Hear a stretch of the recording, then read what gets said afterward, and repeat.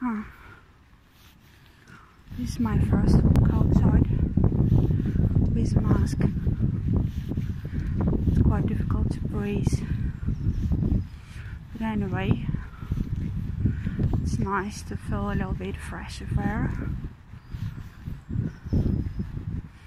I'm going to supermarket. I want to buy some extra food.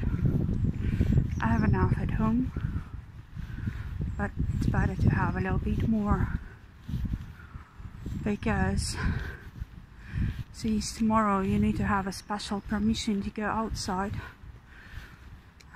from your house. If you caught in the street without permission, then you can be punished. It's better to do it today. I don't know really what I want to buy.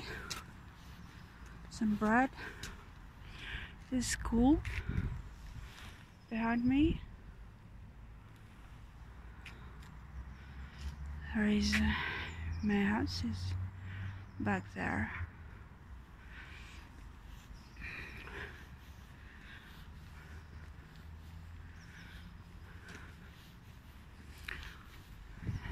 So maybe I will make a video again. It was nice. Bye.